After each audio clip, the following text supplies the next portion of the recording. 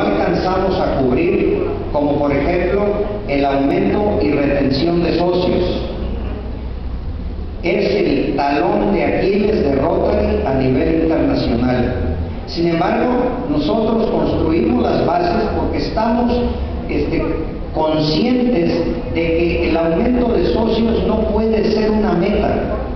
El aumento de socios tiene que ser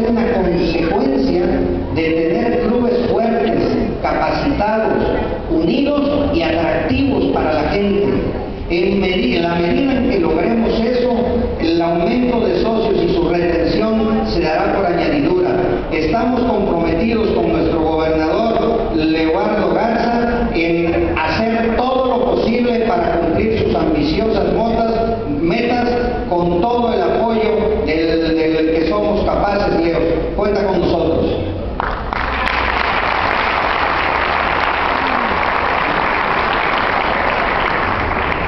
Además, ya ustedes lo vivieron, impulsamos en este año a la familia, porque somos y estamos convencidos que Rotary también es familia.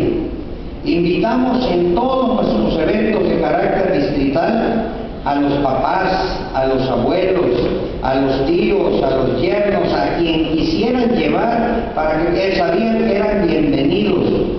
Y además creamos un cuerpo profesional que se encargaba de cuidar a los niños y dejaba en libertad a sus papás o a sus abuelos para que pudieran disfrutar del evento que hubiéramos planeado.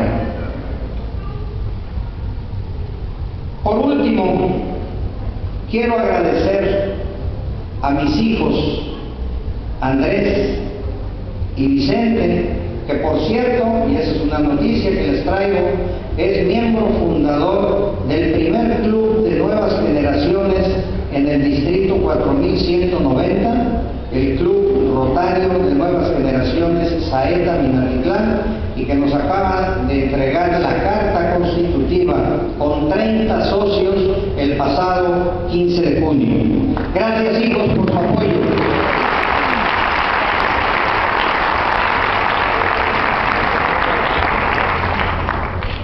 Hay dos personas, dos líderes extraordinarios, jóvenes, creativos y talentosos, sin cuyo apoyo y ayuda no hubiera sido posible